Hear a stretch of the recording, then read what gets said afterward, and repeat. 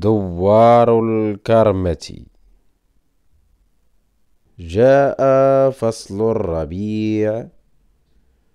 قررت حيوانات الغابة.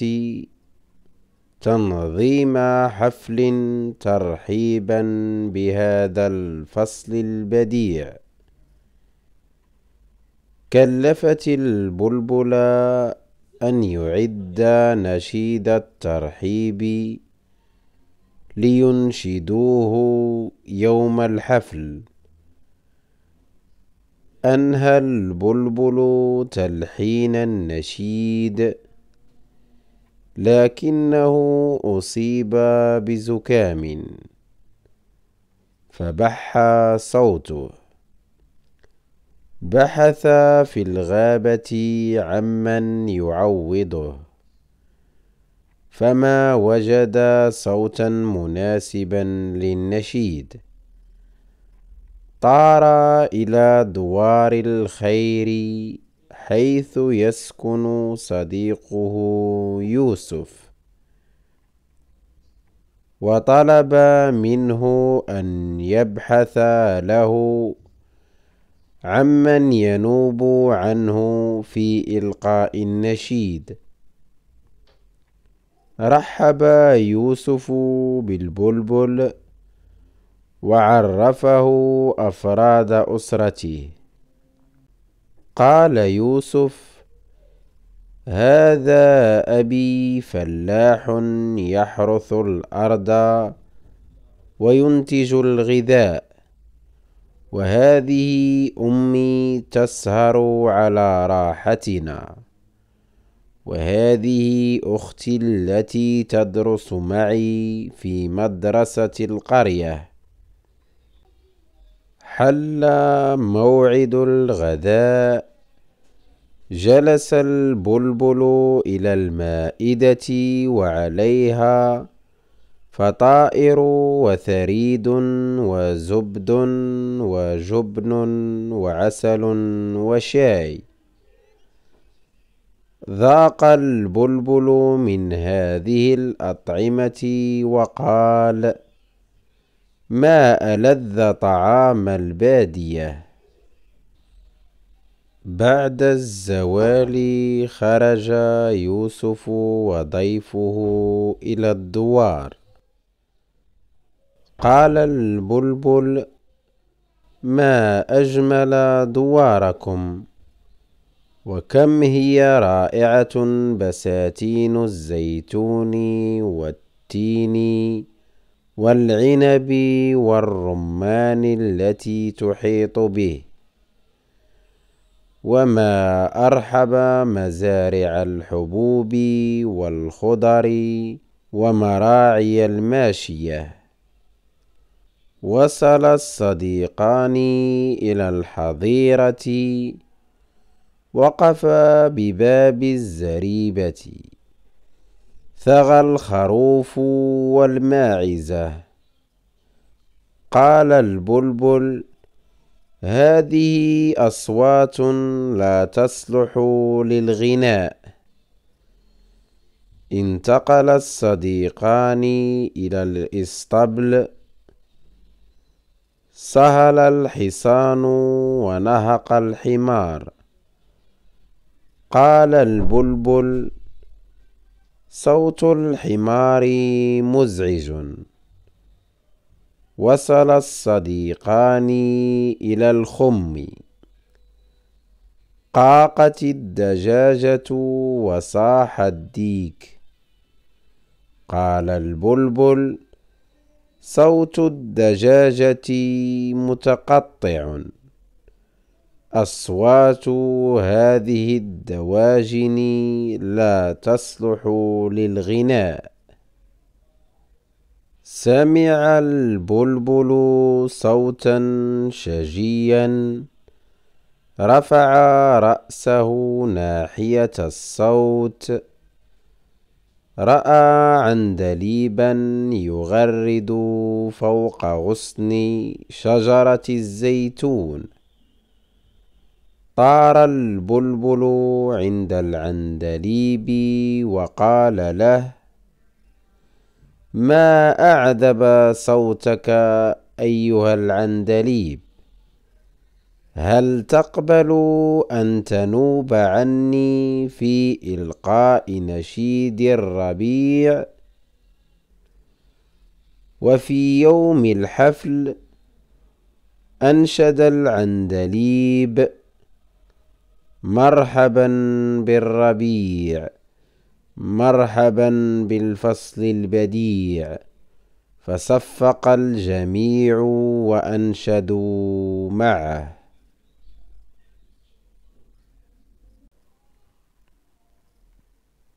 دوار الكرمة. جاء فصل الربيع قررت حيوانات الغابة تنظيم حفل ترحيبا بهذا الفصل البديع.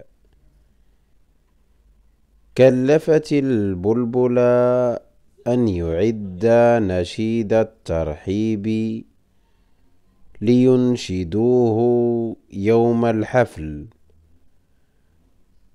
أنهى البلبل تلحين النشيد لكنه أصيب بزكام فبح صوته بحث في الغابة عمن يعوضه فما وجد صوتا مناسبا للنشيد.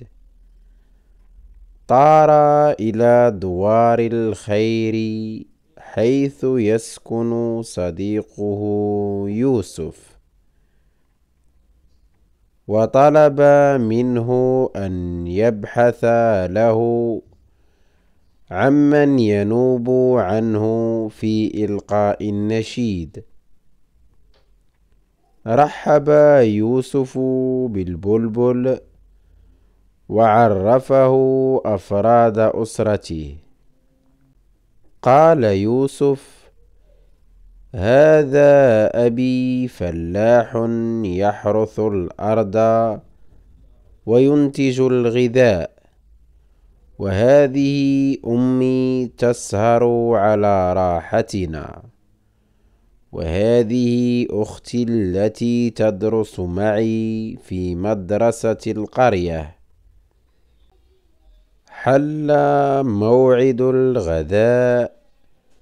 جلس البلبل إلى المائدة وعليها فطائر وثريد وزبد وجبن وعسل وشاي. ذاق البلبل من هذه الأطعمة وقال ما ألذ طعام البادية بعد الزوال خرج يوسف وضيفه إلى الدوار. قال البلبل ما أجمل دواركم؟ وكم هي رائعة بساتين الزيتون والتين؟ والعنب والرمان التي تحيط به. وما أرحب مزارع الحبوب والخضر ومراعي الماشية. وصل الصديقان إلى الحظيرة وقف بباب الزريبة. ثغى الخروف والماعزة. قال البلبل هذه أصوات لا تصلح للغناء. انتقل الصديقان إلى الإسطبل. سهل الحصان ونهق الحمار. قال البلبل صوت الحمار مزعج. وصل الصديقان إلى الخم. قاقت الدجاجة وصاح الديك. قال البلبل صوت الدجاجة متقطع. أصوات هذه الدواجن لا تصلح للغناء. سمع البلبل صوتا شجيا رفع رأسه ناحية الصوت رأى عندليبا يغرد فوق غصن شجرة الزيتون. طار البلبل عند العندليب وقال له ما أعذب صوتك أيها العندليب؟ هل تقبل أن تنوب عني في إلقاء نشيد الربيع